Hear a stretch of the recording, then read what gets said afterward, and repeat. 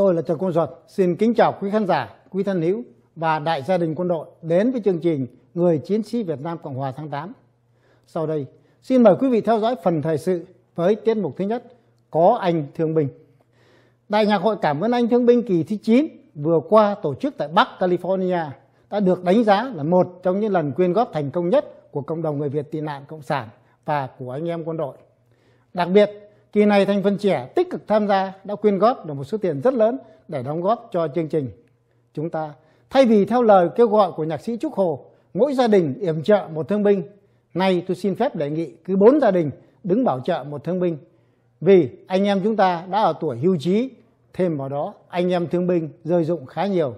Xin quý vị, quý chiến hữu hãy tiếp tay với hội HO để bảo trợ anh em thương binh qua số điện thoại sau đây 714 590 8534 hoặc 714 539 3545 để anh em thương binh quê nhà bớt đi những đau nhức của cơ thể.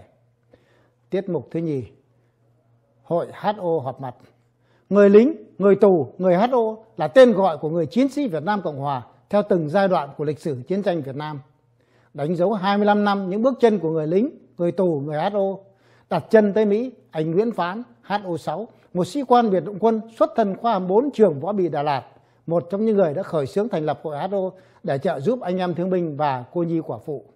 Đứng ra kêu gọi anh em HO và gia đình gặp nhau vào ngày 7, 8 và 9 tháng 11 năm 2015 tại Nam California.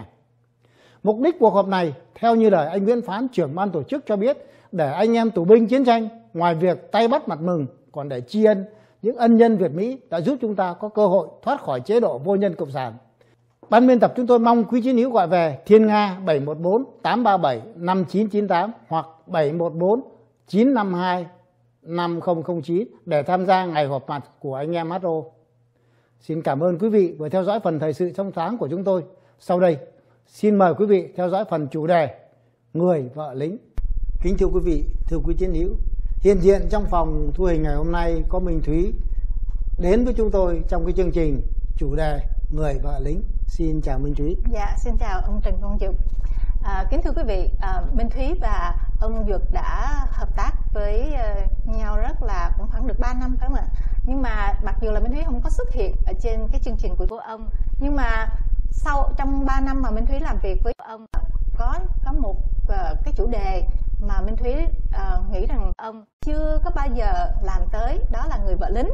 Dạ kính thưa quý vị, trong thời chiến thì đối với những người vợ lính Việt Nam Cộng Hòa, à, niềm hạnh phúc của họ thật là quá mong manh và bé nhỏ. Nhưng sự hy sinh của người vợ lính cho chồng cho con thì thật là vô cùng to lớn, không có một bút mực nào có thể tả hết.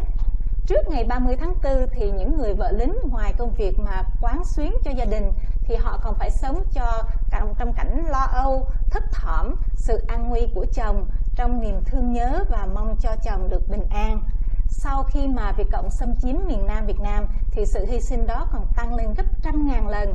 Kính thưa quý vị, trong tháng tư vừa qua thì chúng tôi có một chương trình về người phụ nữ Việt Nam, nhưng đó là cái dưới ờ, một cách nhìn của người phụ nữ. Và ngày 10 tháng 7 tại Geneva đã có một buổi họp để tố cáo uh, Việt Cộng ngược đãi và đầy đọa phụ nữ trong nước. Hôm nay thì chúng tôi cũng với đề tài này nhưng dưới tầm nhìn của một người lính Việt Nam Cộng Hòa uh, nghĩ gì về hai chữ vợ lính dạ xin ông cho biết là ông nghĩ gì về hai chữ vợ lính à, thưa minh trí cũng như thưa quý vị thì à, nói về người lính vợ lính trong chiến tranh Việt Nam thì tôi xin kể thí dụ năm 1968 yeah. Dạ. tại cầu Bình Lợi thì à, đại úy Nguyễn Văn Hùng đại đội trưởng tiểu đoàn 3 thủy quân lục chiến đi họp thì trong lúc họp thì ông được điện thoại viên báo cho ông biết là Bắc Bình xung phong của thẩm quyền tới thì hỏi Minh Thúy Bắc Bình xung phong là gì? Dạ, thật sự là Minh Thúy cũng không có hiểu cái chữ đó là gì. Nó rất là rất là đơn giản thưa quý vị. Bắc Bình xung phong là viết tắt của chữ bài xã. À. À, thành thử ra cái người hiệu tinh viên báo cho ông Đại úy Hùng biết là bài xã của ông đang có mặt tại ban chỉ huy đại đội. Dạ. Thì Đại úy Hùng mới trả lời là nói với lại Bắc Bình xung phong của tôi là chờ tôi về rồi tôi trả đi ăn sáng. Dạ. Thì trên đường về Đại úy Hùng đã bị một cái tay bắn tỉa cái cộng bắn chết và khi cái tin đó đến thì phu nhân của đại uy hùng bất xỉu. Và lúc đó bà đang mang thai. Thì không còn cái nỗi bất hạnh nào cho bằng cái nỗi bất hạnh đó. Và cháu trai lớn lên được mang tên là Nguyễn Văn Bình Lợi thì đó là cái nỗi khổ của người người vợ lính. Cái thứ hai, nói về đại tá Nguyễn Đình Bảo chết ở Sạc Ly. Phu nhân của đại tá thấp thỏm. Chết thì phải có xác, nhưng mà cái đau đớn nhất là không được nhìn xác chồng lần cuối cùng và cái thứ ba nữa cái chuyện này thì có thể hay hơn cả cái chuyện đổi hoa sim của Hữu Loan. Hôn thê của một vị tiểu đoàn trưởng biệt động quân nôn nóng vào gặp chồng để đưa cho chồng xem mấy cái tấm thiệp thiệp mừng. Thì thay vì chờ khách, mở đường xong bà mới vào bà bước lên xe lam và chiếc xe lam bị bìm. Thì đó là những cái chuyện mà thật đau đớn. Và đến năm 72 khi tôi được bộ tư lệnh cho phép ra đón người vợ của ông đại đội trưởng bị chết thì tôi dẫn bà lên thưa quý vị và thưa minh trí là lên cái ở phú bài lên cái chỗ câu lạc bộ uống cà phê. Thì vừa vào đến nơi một cái thì người chưa kịp ngồi thì ban nhạc vận lên. Ngày mai đi nhận xác chồng ra đi để thấy mình không là mình. Thì cái người vợ người bạn tôi xỉu tại chỗ. Thì đó là những hình ảnh mà không thể nào quên được của những người vợ lính trong thời gian chiến tranh. Bởi vì chúng tôi chống lại cái đạo quân tay sai của Trung Quốc và, và Liên Xô nên đã có những hành mà người phụ nữ Việt Nam người vợ lính chịu quá nhiều đau thương như vậy thưa Minh Thúy Dạ, đó là những gì mà ông Dược đã thấy những cái nỗi đau, thấy tận mắt những cái nỗi đau, những cái um, mà người người vợ lính phải uh, chịu đựng. Như vậy thì đó là trong thời chiến. Như vậy thì sau 30 tháng 4 thì cái người vợ lính đã chịu những cái khó khăn, những cái cực khổ như thế nào? Thì câu hỏi của Minh Thúy làm tôi sực nhớ lại cái trường hợp của ông ờ, trung tá không quân Lưu Huy Cảnh. Dạ.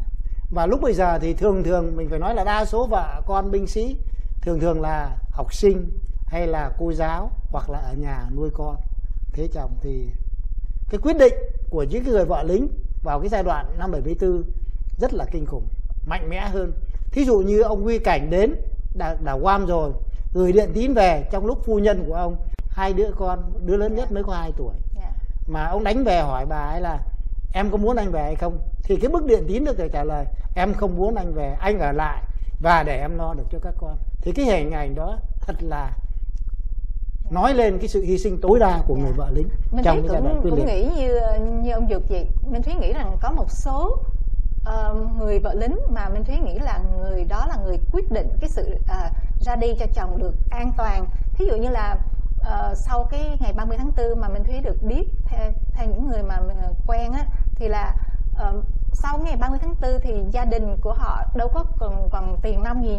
Thì có thể nếu mà lo được cho một người đi thì cái người vợ là cái người quyết định cho người chồng đúng như vậy đi. Bình Thúy đúng như vậy Bình Dạ. Thúy còn một cái sự hy sinh nữa là như thế này. Có một ông sĩ quan thủ quân lục chiến biệt phái về làm trưởng phòng tâm lý. Thì khi ông bị ờ, tù ông viết cái thơ về cho vợ là đi thăm nuôi. Thì cái thằng Việt Cộng mà nó đạp xích lô ở trước cửa nhà cái ông bà này Dạ. thì nó là đặc công. Lúc bây giờ nó làm ờ, nó coi về công an ở cái huyện đó. Dạ. thì bà lên xin nhất định nó không cho. Theo cùng bà hỏi nó muốn cái gì thì nó nói ra nó, nếu bà muốn đi thăm chồng thì phải ngủ với nó. Và sau một thời gian suy nghĩ bà chấp nhận ngủ.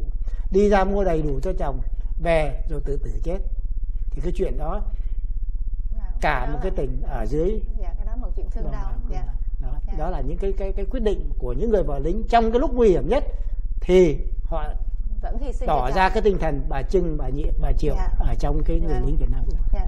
Ờ, như vậy đó là cái ờ, vấn đề 30 tháng 4 mà tại trong nước như vậy thì theo như ông thì ông thấy cái cái sau khi mà ờ, người người người vợ lính rời khỏi ờ, Việt Nam định cư ở một quốc gia thứ ba thì ờ, cái sự hy sinh của họ như thế nào? đấy là một câu hỏi mà có lẽ là đã tạo cho tôi nhiều cái cảm xúc thì khi người vợ lính định cư tại nước ngoài này Dạ. thì họ rất là lo cho chồng lo cho con Dạ. và họ quên hết bản thân mình thì bây giờ như minh thí thấy là đến thời gian họ về hưu thì lại có một cái trường hợp mà chúng tôi hãy nói đùa với nhau là nghị quyết chân dài. Có một số sĩ quan bỏ về Việt Nam, cặp mấy cái người ở trong nước mang sang bên này, tạo ra cái sự ly tán trong gia đình. Và chính những cái hình ảnh này làm cho người vợ lính lại một lần nữa nhỏ nước mắt, tìm đến giáo đường, tìm đến chùa để quên đi những bất hạnh mà mình đã chịu đựng trong thời chiến và đến khi mà đáng lẽ được an an ủi trong tuổi già thì lại phải chấp nhận cái cảnh như vậy. Thì tôi mong rằng khi cái câu chuyện này đến quý vị những ai có ý định như vậy thì nên bỏ đi.